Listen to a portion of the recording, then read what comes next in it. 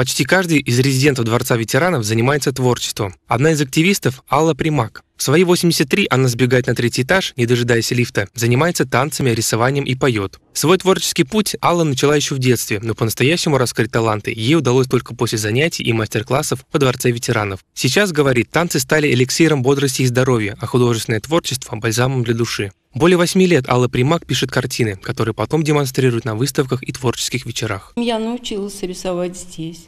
Мечтал, конечно, я мечтал давно, а научилась недавно. Мне очень нравится, и э, у меня от этого настроение хорошее повышается. Главный хореограф Дворца ветеранов Валентина Абрамова руководит тремя танцевальными коллективами. В этом году она отмечает 45-летие своего творческого пути. Закончила Институт искусств в Москве по специальности бальные танцы. Десять лет назад пришла работать во Дворец ветеранов и стала проводить балы для всех желающих. Признается, работать с людьми старшего поколения намного интереснее, чем с молодыми или детьми. Вы знаете, в любую погоду их не надо уговаривать.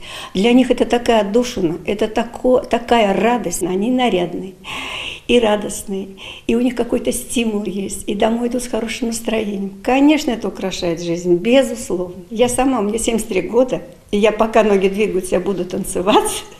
Так что я не мыслю свою жизнь без танцев. После того, как Ольга Пермякова поняла, что ее круг общения стал сужаться, она с головой погрузилась в жизнь Дворца ветеранов.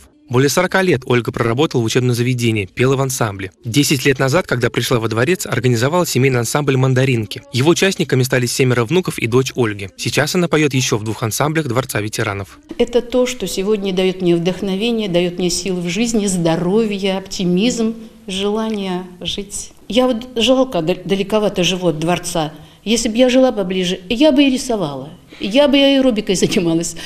Но, к сожалению, не получается пока. Двери Дворца ветеранов открыты для всех, кто нуждается в общении, хочет активной жизни и творчества. Никита Колосов, Николай Сидоров. События.